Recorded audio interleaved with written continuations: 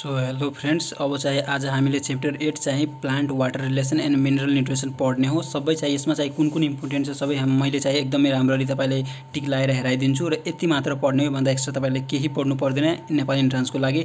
र एउटा कुरा चाहिँ एनाटोमीको मैले बनाएर अलरेडी अपलोड गरिदिएको छु। तपाईँ प्लेलिस्ट गरेर चेक गर्न सक्नुहुनेछ। बोटनीको प्लेलिस्टमा मैले अलरेडी पोस्ट गरिदिएको छु। अब आजदेखि चाहिँ फिजियोलोजी मतलब सुरु हुनेछ र सबै सधैँ अब मैले दुईवटा भिडियो पोस्ट गर्नेछु। एउटा दस बजे एएममा र अर्को चाहिँ सिक्स बजे पिएममा सो सबैजना च्यानललाई सब्सक्राइब गरेर बेलायकन अन गरिदिनुहोस् र साथीहरूलाई पनि यो भिडियो चाहिँ सेयर गरिदिनुहोस्। सो अब आजदेखि तपाईँको फिजियोलोजी चाहिँ सुरु भयो हेर्नुहोस्। जति चाहिएको छ इक्जाममा त्यति मात्र मैले टिक लाउँछु र एक्स्ट्रा मतलब सबै मैले चाहिँ स्किप गरिदिन्छु है। सो फर्स्ट पेजमा भनेको तपाईँले हेर्नुहोस् एटलिस्ट यो दुईवटा लाइन चाहिँ जान जान्नुपर्ने हुन्छ। यो एकदमै राम्ररी हेरिहाल्नुहोस् मैले कुन कुनमा टिक लगाएको छु। र डिफ्युजनको मतलब यहाँबाट के मेन सोधिरहेको कुनै क्वेसनमा यहाँ चाहिँ के पर्छ? पेसीबाट यो भइहाल्यो र अर्को यसको डेफिनेसन डेफिनेसन भनेको एकदमै राम्ररी तपाईँले जान्नुपर्ने हुन्छ। डेफिनेसन धेरै सोधिरहेको हुन्छ। र हेर्नुहोस् मैले कुन कुनमा टिक लगाएको छु? त एकचोटि एक- मैले एकदमै बिस्तारै राखेको छु। यति मात्र पढ्ने बाँकी यसमा यसमा एक्स्ट्रा केही पढ्नु पर्दैन केही पढ्नै पर्दैन। अब अर्को पेजमा भनेको हेर्नुहोस् मैले यो तिनवटा मात्र टिक लगाएको छु त तिनवटा मात्र राम्ररी पढ्नुहोस् बाँकी चाहिँ से- सबै स्किप गरिदिनुहोस्। अस्मोसिस अस्मोसिस भनेको पनि एकदमै इम्पोर्टेन्ट छ र यसमा पनि तपाईँको यसको जुन डेफिनेसन हुन्छ नि डेफिनेसन भनेको एकदमै सोधिरहने क्वेसनमै पर्छ।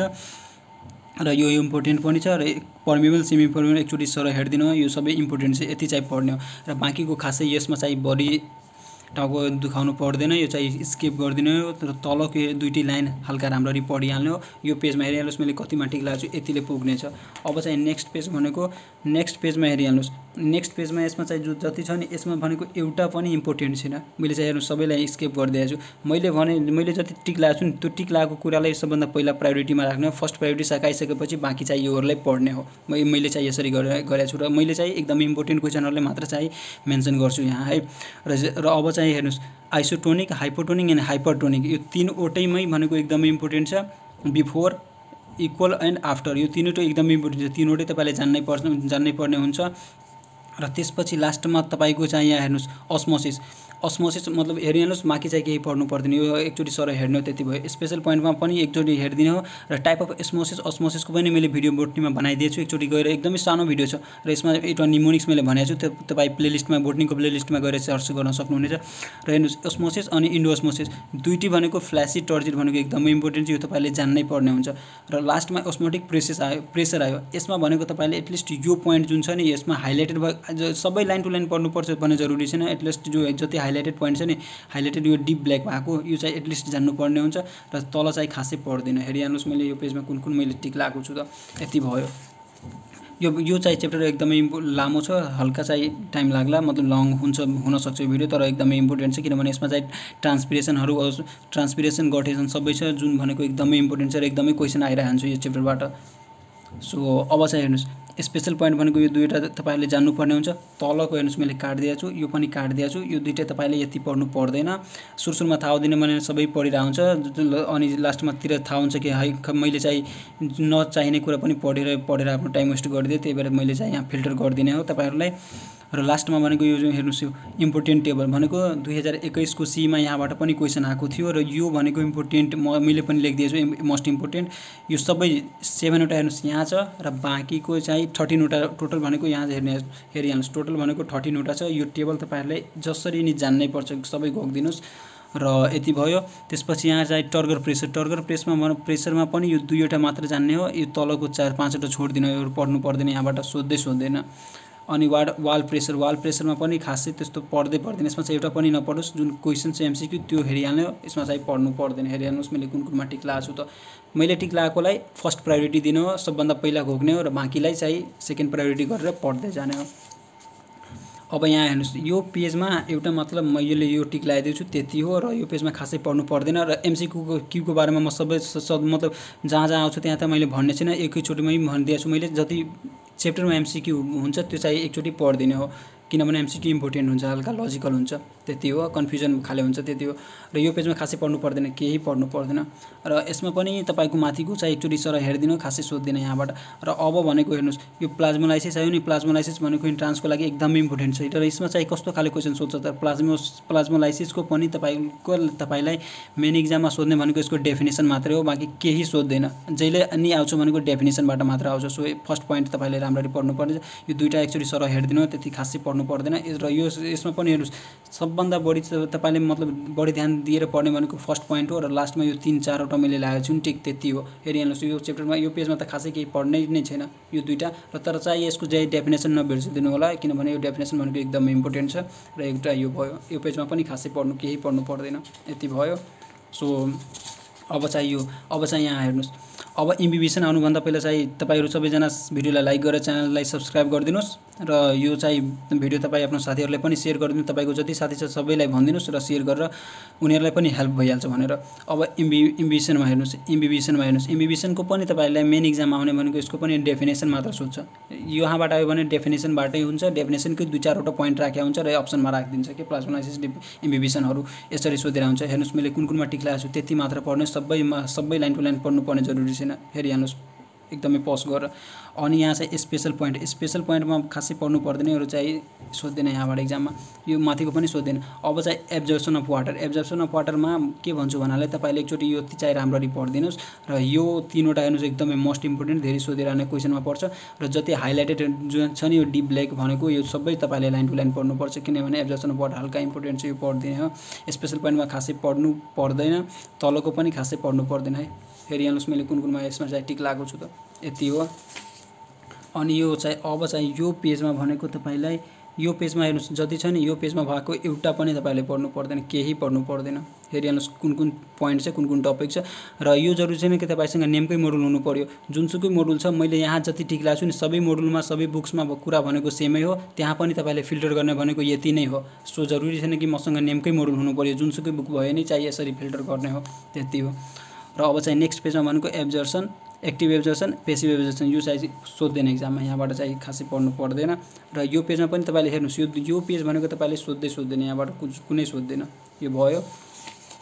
र यहाँ पनि तपाईँको हेर्नुहोस् कति मतलब एक्स्ट्रा दिएछ हेर्नुहोस् न मतलब सोध्ने भनेको थोरै छ एकदमै पढ्ने पढ्नलाई एकदमै बढिदिइसकेछ यसमा पनि तपाईँले केही सोध्दैन। यसमा पनि छँदै छैन सोध्ने छँदै छैन। यसमा चाहिँ तपाईँले बिएससी पढ्नु छ जस्तो हुन्छ नि कन्सेप्ट लिएर उनी त्यसमा चाहिँ काम लाग्छ इन्ट्रान्समा योहरू काम लाग्दैन। र तल यो माथिको पनि योहरू सोध्दैन मैले चाहिँ क्रस लगाइदिएछु छिन् अनि अब चाहिँ यहाँ चाहिँ ascent of sap ascent sap भनेको इम्पोर्टेन्ट छ यहाँबाट इक्जाममा सोही क्वेसन आइरहेको हुन्छ एसेन्ट सेपको पनि तपाईँले माथिको मतलब यसको डेफिनेसन जान्नुपर्छ र ट्र्याकयार्ड भनेको यो जिम्नेस्पम भनेको पनि जान्नुपर्छ यो दुइटा जान्नु जानिहाल्नुहोस् र एउटा यहाँ मैले जुन टिक्ला छु यो पनि जानिहाल्नुहोस् र यो जति थ्योरिजहरू छ नि थ्योरिजहरू कहिलेकाहीँ सोधिरहेको हुन्छ। थ्योरीको एकचोटि सबै कुरा राम्ररी एकचोटि पढिदिनुहोस् र थ्योरीमा पनि नछुटाल्ने थ्योरी भनेको यो छ डिक्सन एन्ड जोली। मतलब डिक्सन एन्ड जोली यस। यो मतलब pull and cohesion tension theory छ नि यो भनेको एकदमै इम्पोर्टेन्ट थ्योरी छ र सबै एकचोटि पढ्ने हो तर यो चाहिँ फर्स्ट प्रायोरिटीमा राख्ने यो थ्योरी थ्योरीलाई यो चाहिँ एकदमै इम्पोर्टेन्ट सोधिरहेको हुन्छ। अब चाहिँ ट्रान्सपिरेसनमा आयो। ट्रान्सपिरेसन भनेको पनि यसको चाहिँ हेर्नुहोस् मैले चाहिँ यहाँ टिक एउटा लाउन छोडिदिएको छु तर यो पोइन्ट तपाईँले इम्पोर्टेन्ट छ। हेर्नुहोस् हेरिहाल्नुहोस् यो छ नि लो ह्युमिडिटी हाई टेम्परेचर यो भनेको तपाईँले एकचोटि जान्नुपर्ने हुन्छ तिन नम्बरको पोइन्ट र यसको पनि डेफिनेसन जानिहाल्नुहोस्। र यसमा जुन जति मैले टिक लगाएको छु नि एटलिस्ट यति चाहिँ एटलिस्ट तपाईँले जान्नुपर्ने हुन्छ ट्रान्सपिरेसनको यतिले चाहिँ पुग्नेछ। र ट्रान्सपिरेसन भनेको एकदमै सोधिरहेको हुन्छ है। र एस्टोमाटामा पनि तपाईँ हेर्नुहोस् नाइन्टी पर्सेन्ट कुनमा छ नाइन पर्सेन्ट कुनमा छ वान पर्सेन्ट कुनमा छ यो पनि तपाईँले जान्नुपर्छ र यहाँको एउटा यो टिक लगाएको पनि जानिहाल्नुहोस् यति हो। र अब चाहिँ इभेपोरेसन ट्रान्सपिरेसन ट्रान्सपिरेसन भनेको सोधिरहेको हुन्छ यति चाहिँ जानिहाल्नुहोस् इभेपोरेसन खासै सोधिने एउटा फिजिकल जानेपछि पुग्नेछ र अब चाहिँ स्ट्रक्चर अफ एस्टोमाटा भनेको यो चाहिँ हेर्नुहोस् निमोनिक्स पनि दिएको छ त। र यो भनेको गार्ड सेलको डेनी डम्बेल भनेको मनको डाइकोट भनेको इम्पोर्टेन्ट छ यो चाहिँ तपाईँले जानिहाल्नुहोस् खासै तल चाहिँ पढ्नु पर्दैन। अब चाहिँ माथिको एउटा चाहिँ यो पोइन्ट तपाईँले जानिहाल्नुहोस्। यसमा चाहिँ सर सर मतलब जुन क्लासमा सरले गर्नुहुन्छ त्यहाँबाट पढ्ने यो बुकबाट चाहिँ खासै नहेर्ने।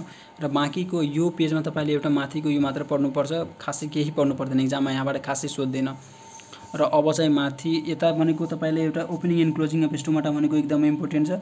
यो दुइटा लाइन तपाईँले जान्नुपर्छ। यो चाहिँ एकचोटि सर हेरिदिने हो भयो। यो पेजमा पनि तपाईँले खासै पढ्नु पर्दैन। मैले हेरि हेरिहाल्नुहोस् कुन कुन मैले टिक लगाएको छु। मैले भनेको कुरालाई फर्स्ट प्रायोरिटीमा राख्ने पहिला नै मैले भनिदिएको छु। र मैले भनेको तपाईँलाई फिल्टर मात्र गर्ने हो। एकदमै इम्पोर्टेन्ट इम्पोर्टेन्ट पोइन्टहरू सो सबैजना भिडियोलाई लाइक गरिदिनुहोस् है। भिडियोलाई लाइक गरेर च्यानललाई सब्सक्राइब गरिदिनुहोस् र साथीहरूलाई पनि सेयर गरिदिनुहोस्। र अब हेर्नुहोस् यो दुई नम्बरको जुन पोइन्ट छ नि यहाँ यहाँ भनेको तपाईँले यति चाहिँ एटलिस्ट जान्नुपर्छ सोधिरहेको हुन्छ। यो यहाँबाट हेर्नुहोस् आयोमा पनि यहाँ सोधेको छ। यो यो पेज एकचोटि मतलब यहाँ भएको जति छ नि एकचोटि राम्ररी पढिदिनुहोस् र मेन भनेको तपाईँलाई स्पेसल जुन पोइन्ट छ नि यो भनेको एकदमै इम्पोर्टेन्ट छ। हेरिहाल्नुहोस् यो भनेको तपाईँलाई एकदमै इम्पोर्टेन्ट छ। Influx outflux stomata open stomata close यो भनेको सोधिरहेको हुन्छ कि यहाँबाट तपाईँलाई एकदमै राम्ररी पढ्नुपर्ने हुन्छ एकदमै राम्ररी। यो भयो र अब चाहिँ लास्टमा यहाँ जुन यो पेजमा जुन छ नि यो पेजमा तपाईँलाई इक्जाममा आउने एउटा पनि क्वेसन छैन सो यसलाई चाहिँ यसले चाहिँ अहिलेलाई चाहिँ स्केप गर्दा हुन्छ है योबाट खासै सोध्दिनँ। तपाईँले एक्स्ट्रा कुरा पढ्नुभयो भने तपाईँकै टाइम वेस्ट हुन्छ। त्यही भएर चाहिँ चाहिने कुरा मात्र पढ्ने हो त्यति मैले मैले भन्ने त्यति मात्र भन्छु म। यहाँ पनि यति मात्र तपाईँले खासै सोध्दिनँ। हेरिहाल्नुहोस् मतलब योबाट आउँदैन इक्जाममा यहाँबाट पनि आउँदैन। अब चाहिँ गटेसन गटेसन भनेको तपाईँलाई इन्ट्रान्सको लागि एकदमै इम्पोर्टेन्ट छ। गटेसन भनेको धेरै इम्पोर्टेन्ट हो। गटेसन तपाईँलाई सबै जान्नुपर्ने हुन्छ। त्यही भएर मैले जति टिक लगाएको छु एटलिस्ट यति तपाईँले जान्नुपर्ने हुन्छ। र गटेसनको डेफिनेसन भनेको वाटर ड्रपलेट भन्नाले मतलब तपाईँले जान्नै पर्छ। यति चाहिँ एक्चुली हेरिहाल्नुहोस् पस गरेर कुन कुन मैले टिक लगाएको सबै चाहिँ तपाईँहरू पनि टिक लगाइहाल्नुहोस् र यसरी चाहिँ पढ्दै जानुहोस्। र अब यहाँ चाहिँ ट्रान्सपिरेसन एन्ड गटेसनको डिफ्रेन्सेस बिट्विन छ। यो भनेको तपाईँले मैले पनि इम्पोर्टेन्ट लेखिदिएको छु। यहाँ दुइटै भनेको एकदमै इम्पोर्टेन्ट के? सबै लाइन टु लाइन सबै जानिहाल्नुहोस् कि? किनभने सबै इम्पोर्टेन्ट छ यसको। र अब चाहिँ लास्टमा भनेको मतलब यो विल्टिङ जुन छ नि विल्टिङ भनेको तपाईँको इक्जाममा आउँदैन यहाँबाट यो चाहिँ स्किप गर्ने हो यहाँ माथिको एकचोटि यो पनि यो पनि त खासै सोध्दैन त्यही पनि चाहिँ तिनवटा लाइन छ एटलिस्ट यो तिनवटै हाइलाइटेड पढिहाल्नुहोस् त्यति हो। र यो पेजमा भनेको तपाईँलाई यहाँबाट एउटा पनि केही आउँदै आउँदैन। यहाँ भनेको तपाईँले एउटा यो डिफ्रेन्सेस मात्र पढ्ने हो यो पेजमा बाँकी केही पढ्नु पर्दैन है। भिडियोलाई सबैजना लाइक गरिदिनुहोस् है। र अब चाहिँ यहाँ भनेको तपाईँलाई हेरिहाल्नुहोस् फोस्फोरस क्याल्सियमहरू पनि यहाँबाट केही सोध्दैन। योबाट तपाईँले आउँदै आउँदैन मेन इक्जाममा यहाँबाट पनि तपाईँले केही आउँदैन। यो पेज हेर्नुहोस् तपाईँले केही पढ्नै पर्दैन। हेर्नुहोस् कति एक्स्ट्रा दिएछ कि फिल्टर गर्नै आउँदैन सुरु सुरुमा कसैलाई। मैले पनि नचाहेको कुराहरू धेरै पढाएको थिएँ सुरु सुरुमा। तर पछि गएर चाहिँ चाहिने कुरा मात्र पढ्यो। किनभने रिभिजन गर्नमा गाह्रो भइहाल्छ नि त। लास्टमा रिड एन्ड डाइजेस्ट भनेको एकचोटि सर हेरिदिने हो। मैले चाहिँ हेरिहाल्नुहोस् मैले आइएम जुन आइएमओ साक्षरमा लेखेको हुन्छु त्यति पढ्ने हो। खासै यसमा केही पढ्नु पर्दैन। कुन कुन यसमा इम्पोर्टेन्ट छ छैन भनेर मैले सबै तपाईँहरूले बताइदिएँ। र लास्टमा भनेको तपाईँले यो कम्पिटेटिभ इक्जाममा जति एमसिक्युहरू सोधे हुन्छ नि त्यो गर्ने मतलब च्याप्टर गर्ने बित्तिकै एमसिक्यू पनि सकाइहाल्ने हो।